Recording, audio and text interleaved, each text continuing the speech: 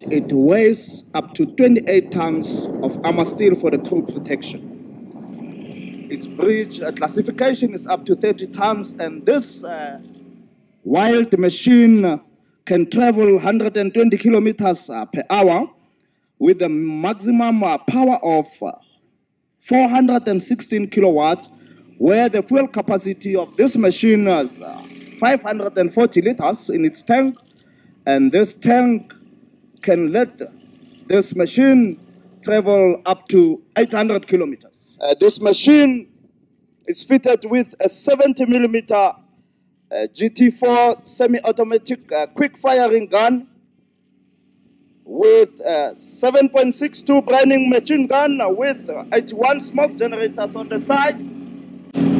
of a 75 millimeter gun, 3,800 rounds for the Browning machine. Uh, you will see only one crew member sticking outside now, but the crew that is running this machine, it's uh, four members, which is a driver,